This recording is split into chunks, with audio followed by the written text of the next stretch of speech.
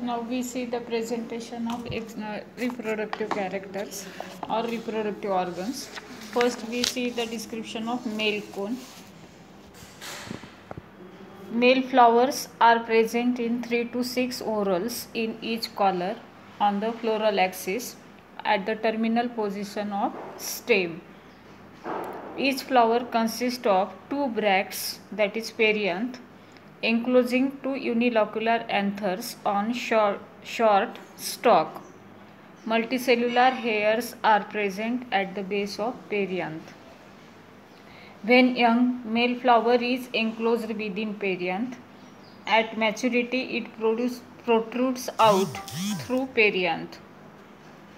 Anthers dehisce by longitudinal slit to release pollen grains or microspores. The microspore is spherical and uninucleate with thick and spiny exine and thin and smooth intine. So this is the structure of male cone.